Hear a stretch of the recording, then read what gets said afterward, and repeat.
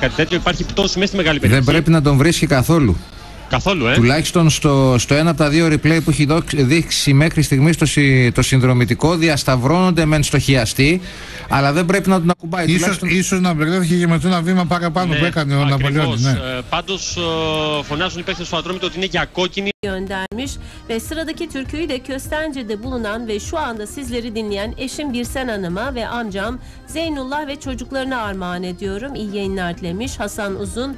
Diyarbakır'dan Diyarbakır'a Konya Μετραφόρα εκτελεί Ναπολεόνη και πιάνει ο Διούδης την μπάλα. Επανέρχεται στον Ναπολεόνη. Νέο σουτ. Άστοχο από τον Πρίτον. Να λοιπόν η μεγάλη ευκαιρία χαμένη για τον Ατρόμητο